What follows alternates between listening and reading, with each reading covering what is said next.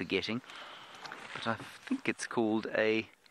What's it called? Is it golden jasmine or lemon jasmine or something? I'm going to have to look it up again. Oh dear, it's coming out of my ear. But it's just a very pretty plant. Smells of nothing.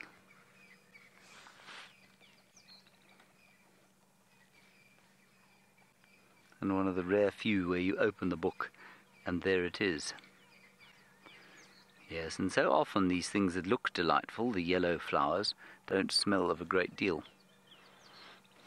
I'm just going to have to reconfirm the name. I haven't found, I haven't managed to find Judy H's uh, hibiscus macrantha just yet, but I will do. And as I do that, I'll tell Rebecca wants to know: um, is it mostly yellow flowers that don't smell? Rebecca, it's often any flowers that aren't white that don't smell.